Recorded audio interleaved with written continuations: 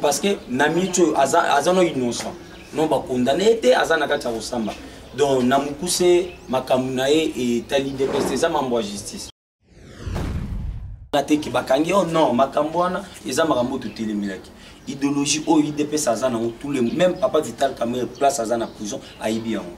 ke impunité idps toboya makambo wana dans ai ya idps oyo nazo salue place aza mokonzi yayo yango oyo makambo wana pour le moment wana ezo engage nga no idps mais pour le moment eza na façon ya ko kosala pression na président parce que ndenge makambo ekomokendele na façon ya justice bato mosusu na kati ya baparlement wana on sait bien ke mosusu bakobe eza na problème te koloba na kati ya congrès eza na problème te idps ou bien parti moko te politique ekoki kopekisa ou bien plateforme politique ekoki kopekisa euh, congrès ya na assemblée nationale te le problème aneke tozali na kati ya na, na, na, na état d'urgence eza décrété mpona état d'urgence sanitaire ezoconcerne politiki te eza sanitaire mpona koprotege Mesdames et messieurs, bonjour les abonnés, les fidèles de Bibi Télévision officielle. C'est bien là. Ruben Samba, la réserve de la presse congolaise. Boye bit miko mobenga benga mingi le micro d'or de la presse congolaise. Yo yo mobala musaka tam bichi quand on peut se la bino bo se pelara toujours. Batokola wa sœur nanga Bibi ABC na la patronne de la presse congolaise na États-Unis d'Amérique na kata Dallas. Vous allez jamais déçu. Et voilà aujourd'hui nous sommes obligés et censés de parler toujours de l'actualité.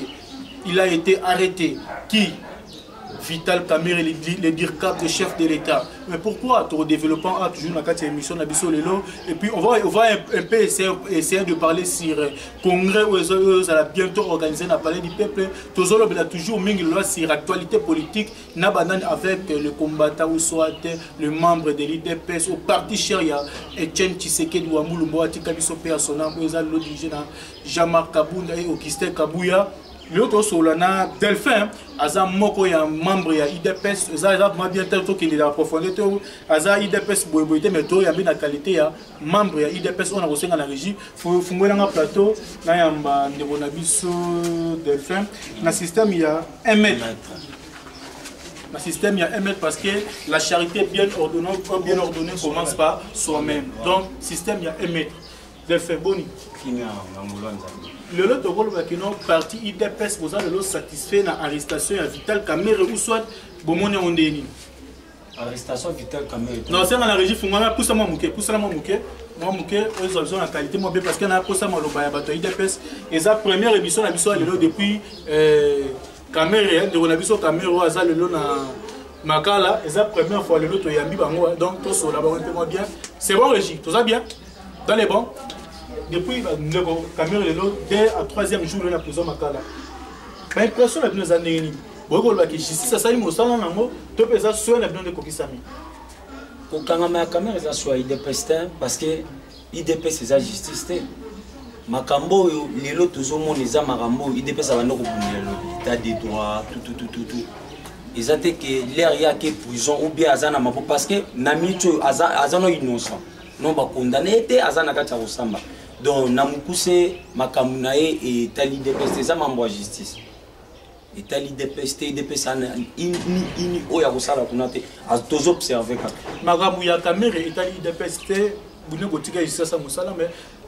elongo esalami affrontement esalama entre bino na parquet général entre l'inc na udps mais pourquoi bokomi na niveau wana soki justice esala mosala mais bino bamilitant akwasi ya bokokende kose présente na kati ya parquet ntango aza na kati ya kosambisa ye les jours ya asenga regitemisa nga plateau normal tosolola il faut ba internaute oyo baza na états-unis d'amérique belgique londres lokola ave na nga mascote samba ki monsieur en direct de paris na kati ya france ayebiki bona système ya confinement donc bolanda makambo oyo epesama na kati ya mboka na bino mpo ozala bien makasi vous avez la parole jour oyo ya ya premier jour ya invité oyo bainvité vital camera mm. oza journaliste investigation na mboka oyo mm. est ce que aire oleki wana omonaki badrapela idps parce que bima lokola kaki ya puisque non non non mais ce que deuxième jour ya ko kende na makala boya ke belé né le même jour oyo ya ye wana nde kokende makala yango wana omonaki drapele ya idps te parce que bakamera ekitaki kuna so oza na place moko omoni drapele ya idps ou bien motu moko alati fisi moko ya idps na nzoto olobi ke non naza na bemage okotiela yango bato na meme émission kaka wana Et voilà aujourd'hui, et là on est beaucoup sur la justice parce que et ça là, mais ça là, mais oui, Camille, Raza, le lot, est-ce que aza moto akompagnaki bino na pouvoir lelo oyo boyai quand même azali na bino après genève boke bakoa bosenga bokende lelo oyo bozwi le pouvoir bomona teke na motema osata bandeko ya parti na ye même pas 3 ans directement makala bozo trouva en nini mon frère le pays va mal hein? le pays va mal ye moko papa vital kamere ayebi na etat oyo akutela mboka accompagner euh, président félix baye bango nyonso to nzela moko biso tuna nsima c'est pas que air justice ekobenga mutu toye na pouvoir mpona tozala baintouchable babengi ete idps moto ekondani te justice nde ebengi emoni ke non ya quelque chose oyo badeklaraki na conseil des ministres ke non motu nyonso tu fo basala enquête ya makambo ya nino babengi vital kamel lokola renseigna biso tokozala wana te ke bakangi o oh non makambo wana eza makambo oyo totelemelaki idéologie oyo idps aza nango tous les même papa vital camere place aza na prison ayebi yango ke impunité mpo idps toboya makambo wana na akize ye te ezali mosala ya justice nde azosala mosala na ye epuis balobi ke bino idps bajour okomi na douceur politique eh. système ya bainsilte babiloko wana to ekiti esili bokomi na système moko ya douceur eza exemple à suivre parce que oza euh, parti au pouvoir yango ozopesa exemple mpo na bango nyonso batikali bakoma eti bino normalement mais nakoloba eloko moko euh, na electo ozwaka exemple ya 2011 élection eke bongo ndenge ekendaki tshisekedi le père arate élection atikala kobima na bamédia mingimingi te do eza ke tozwi à partir ya wana tozwi mwa mentalité mo parce que na ndako babotaka bana nyonso toka ndenge moko te mwana mwana na baéducation na ye me mosala papa ezala kaka kozongisa mwana na nzela et alors sur congrès oyo ezongi na ye ezala organisé à d'ici vendredi boyambi yango comment parce que babi comment le président peut euh, akoki kozwa akoki kodécréter état d'urgence sans pour autant consulter les deux chambres entre le président de la sénat et président assemblée nationale sikoyo bino idps boyoki yango ndenge te mpona mpona nga mpona ngai parce que président ai ya idps oyo nazo salue place aza mokonzi yayo yango oyo makambo wana pour le moment wana ezo engage nga no udps mais pour le moment eza na façon ya kosala pression na président parce que ndenge makambo ekomi okendele na façon ya justice bato mosusu na kati ya baparlement na on sait bien ke mosusu bakobengisaka bango bazosala yango na ndenge moko ya précipitation parce que na 2007 kaka même article wana cour constitutionnel arandaki yango nini oyo toyebi yango biso nyonso depuis 2007 bamdenge eza boye papa tambu mwamba na mama jani mabunda bazali na leson moko te ya kopesa bato parce que pouvoir passer président honoré joseph kabila asalaki deux mandats et deux ans ya, ya, ya nini oyo jusque là ti lelo bajuge ya bacour constitutionnel bazali nani abenga ye atuni eke mpo na nini subasuma juridique nini epesa autorisation ya kosala deux ans na pouvoir est ce que bino mpe idps boye kotikela mpe bango botalela bango vendredi eloko nini balingi baloba na kati ya congrès non non non koloba na kati ya congrès eza na problème te koloba na kati ya congrès eza na problème te idps ou bien parti moko te politique ekoki kopekisa ou bien plateforme politique ekoki kopekisa euh, congrès ya na assemblée nationale te le problème ane ke Et tozali na kati ya na na na na état d'urgence eza décrété pona état d'urgence sanitaire ezo concerne politique te eza sanitaire pona ko protéger ba vie ya ba congolais tellement que ba personnes mal intentionnées oyo bakanga matoi na liwa bato ya este bato bazokufa kuna bango bakanga matoi y compris bango mpe bazalaki na kati ya makambo wana bapersonne mal intentionné okay.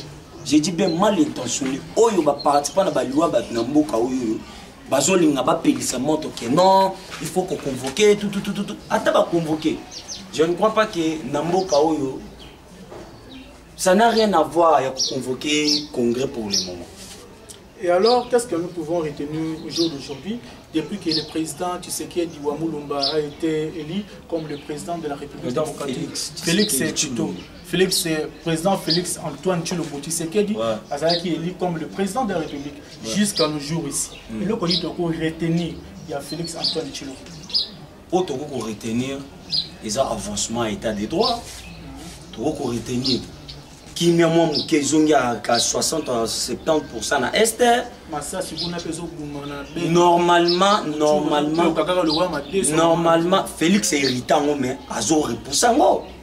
bariba bazo kazo bazo euh, kabila kabila avec kabila na 2005 na motebusi ye pa repoussaki yango kabila repoussaki yango mais on est où là avec ekunda bato ya repusaki yango on est où toujours toza kaka awa mais soki obeke oyo alonu avec kabila mais tozomona kaka basystème politique yango ezandi héréditaire soki bon bon olobi très bien système politique ya félix na kabila ya ndenge moko etunaka mpo na nini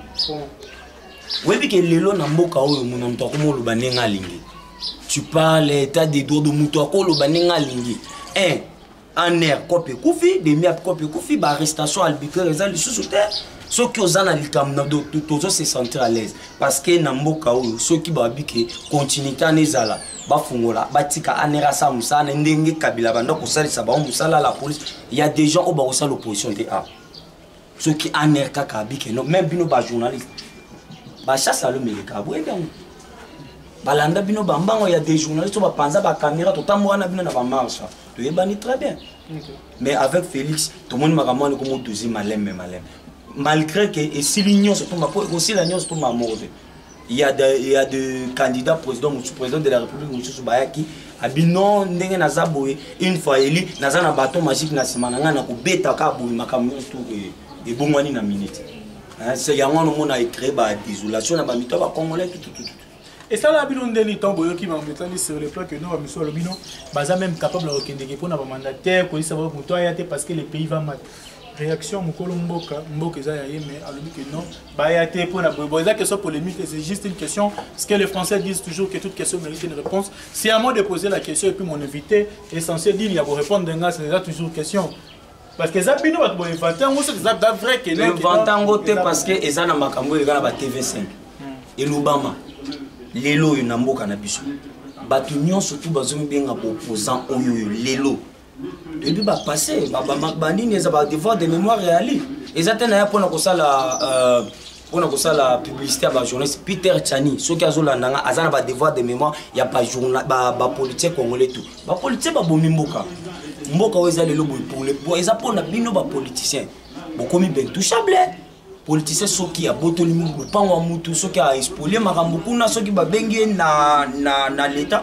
acharnement Donc on ne touche pas aux politiciens.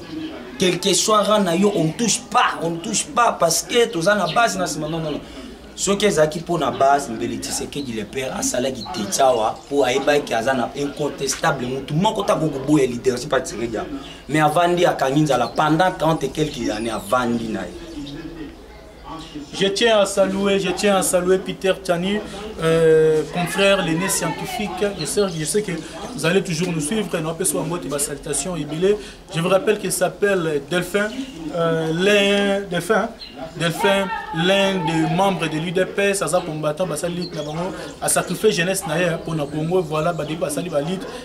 alida epesaka toujours bongo nayebi kalemba mpe ayeba kumba ba prison yango ntango baza lelo na kati ya pouvoir baza na pouvoir kolela na lite eza kosenga kaka keno jeunesse e avance mboko kende liboso selon bamakambo ndenge balakaki bango tu ndenge ezalaki parce que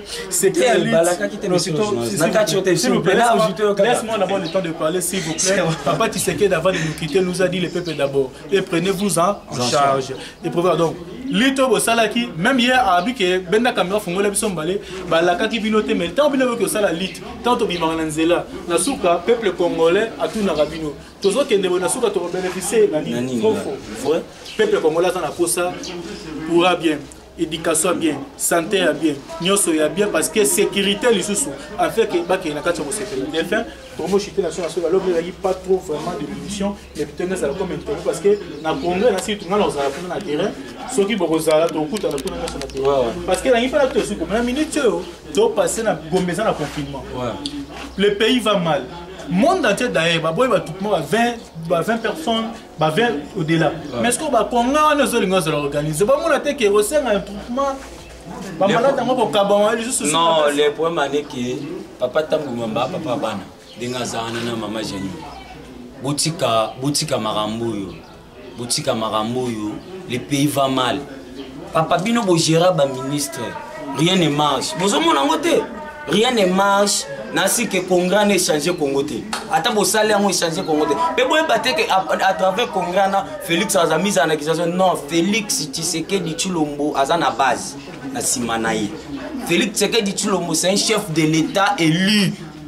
Hein, donc ba makambo wana oyo bino bozolinga koyela biso congrès boye moto akobanga congrès aza te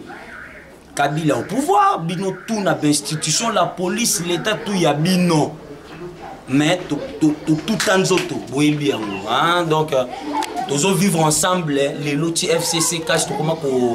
kopartage eza mpona fati baza parasoleil na biso tu soki boye botobola parasoleil do nasike kote wana nde moi ekozwa bino biso tozala protege parce que tosi tomesana moi bino bomesana clim biso tomesana samwe na nzala na kolia lipa na mai ya lobo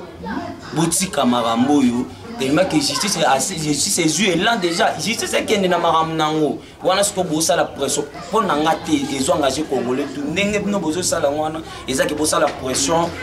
président azala même mise na justice félix azala même mise na justice te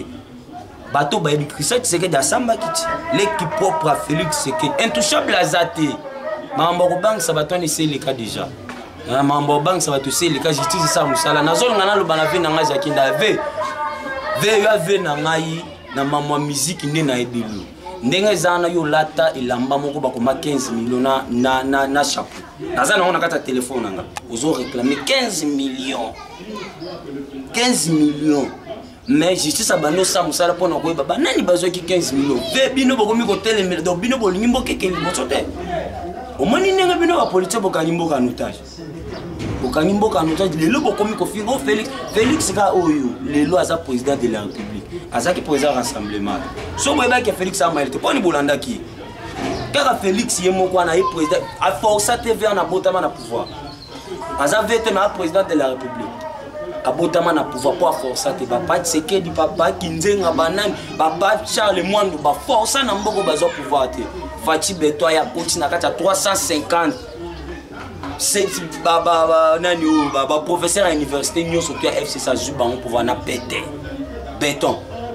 donc ndenge eza wana félix un kinois abotami na kini akongola na makila bakongoloko moto abangisa aza te mpo baka na baje moto bobanda osala kabila kala bobangisi bangisi abengi dialogue bozwi baposte bokangi minoko ya des gens oyo bazwa baposte awa peuple peuple peuple ti lelo bakanga monoko papa lisanga bonganga na sali oyo oyebi oyebi olela peuple peuple mais ere eh, okoma ministre makambo echangea olongo oye lamuka okomi ono oh ndenge eza na félix azwaki te eza makambo te fo moto ere eh, balingi kobenga oh, kaka makambo na bino donc euh, eza eloko moko botika soki félix aresir na mandat na ye te biso peuple nde ye toko kemba parce que politicien piaka na moko azate bino to bana ba monde